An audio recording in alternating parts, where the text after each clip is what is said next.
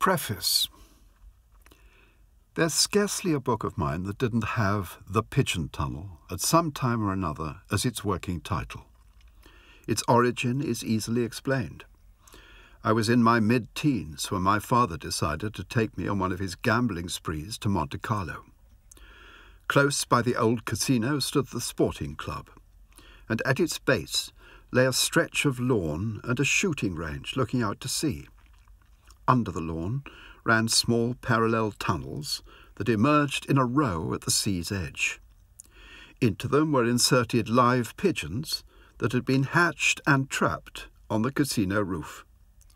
Their job was to flutter their way along the pitch dark tunnel until they emerged in the Mediterranean sky as targets for well lunched sporting gentlemen who were standing or lying in wait with their shotguns.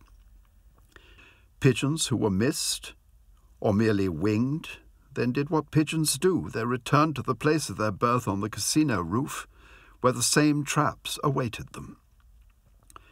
Quite why this image has haunted me for so long is something the reader or the listener is perhaps better able to judge than I am.